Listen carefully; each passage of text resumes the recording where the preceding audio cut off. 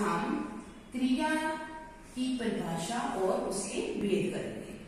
तो क्रिया का अर्थ है काम। तो बच्चे बताइए, क्रिया का अर्थ है काम। वेरी गुड क्रिया का अर्थ है काम। बच्चे, काम या तो किया जाता है या फिर होता है। अब इन सेंटेंस को पढ़ो। तोता मिर्च खाता है। बच्चा दौड़ता है। माँ खाना पका रही है। बच्चे इस सेंटेंस में देखो। खाता है, दौड़ता है, पका रही है। ये सब क्या है? क्रियाएँ।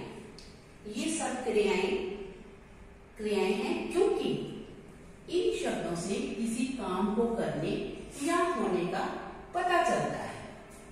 तो बच्चे यहाँ हम ऐसे भी लिख सकते हैं? इसकी परिभाषा जिन शब्दों से किसी काम को करने या होने का पता चले उसे क्रिया कहते हैं। आपको शॉर्ट में बोलती हूँ, ये तो सेंटेंस है ना, मैं आपको बता रही हूँ। क्रियाएँ जैसे उठना, बैठना, सोना, जागना, खाना, पीना, दौड़ना, हंसना, रोना, ये सब क्या है? क्रियाएँ। तो बच्चे, ये जो क्रियाएँ हैं, जैसे कर्ता, काम करने वाले को कर्ता कहते हैं। अब सेंटेंस तो आप देख लेते हो, जैसे मैं एक एग्जांपल देती हूँ। राम दूध पीता है, इसमें क्या है? आप आप कैसे पहचानोगे भी कर्ता कौन सा कैसे पहचानोगे हाँ जी, आप बताइए। राम वेरी गुड राम क्या है? कर्ता कैसे पता चला? राम दूध पीता है। हमने ऊपर क्या बोला? है काम करने वाले को कर्ता हैं। काम कौन कर रहा है? राम। राम दूध पीता है। राम दूध पी रहा है तो काम कौन कर रहा है? राम। तो राम क्या हुआ? कर्ता, क्योंकि तो हमने लिखा है, काम करने वाले को करता कहते हैं। क्लियर वेरी अब हम करेंगे कर्म। कर्ता जो काम करता है, उसे कर्म कहते हैं। जो काम करता है, उसे हम कर्म कहते हैं। जैसे मैं एग्जांपल एक ही एग्जांपल बोल रही हूँ। वैसे तो क्षमा सेब खाती है, या राम दूध पीता है, या सेब खाता है, बच्चे सेंटेंस कोई भी हो, आपको ये क्लियर होना चाहिए कि क्रिया कौन सी है, कर्ता कौन सा है, और कर्म क्या है। तो इसमें अब जैसे मैंने एक एग्जांपल ली है, राम दूध पीता है। इसमें देखो, राम हाँ जैसा बताइए राम करता वेरी गुड राम क्या हुआ? करता। दूध पीता है। पीना क्या है? क्रिया। पीना क्या है? क्रिया। और दूध क्या है? क्योंकि राम दूध पीता है। दूध क्या है उसका? कर्म। तो कर्ता जो काम करता है करता है राम। काम क्या कर रहा है? पीना। पी, पी क्या रहा है? वो दूध। राम दूध पीता है इसलिए क्लियर हो गया राम करता हो गया। उसका काम क्या है? दूध पीना पीना क्या है उसकी क्रिया क्लियर बच्चे?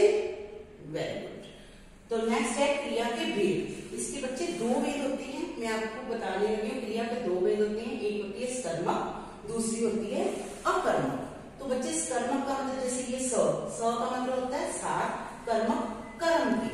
कर्म के साथ कर्म के साथ क्रिया का होना क्या कहलाता है?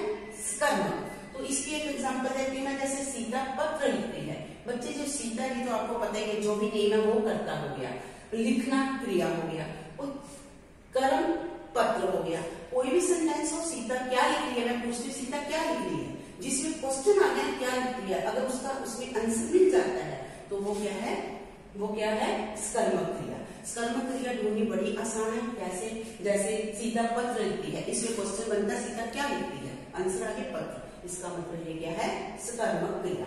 इसी तरह से अकर्मक और बिना। कर्मक, कर्म की।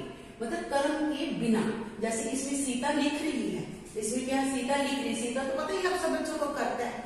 तो लिख लिखना क्या है क्रिया? अब मैं इसमें क्वेश्चन पूछती हूँ। सीता क्या लिख रही है? आप लिखो कुछ नहीं, आंसर नहीं ना लिख रहा मेरा विपत्र लिख रही, कुछ नहीं रहा इसका मतलब ये क्या है? अकर्मक क्रिया। अगर आपको कर्मक और कर्मक में ढूंढना पड़े कि कौन सा शब्द है तो आप बोलोगे, सीता क्या लिख रही है? इसमें पत्र। इसका मतलब सीता पत्र लिख रही है, इसका मतलब ये कर्म क्रिया है।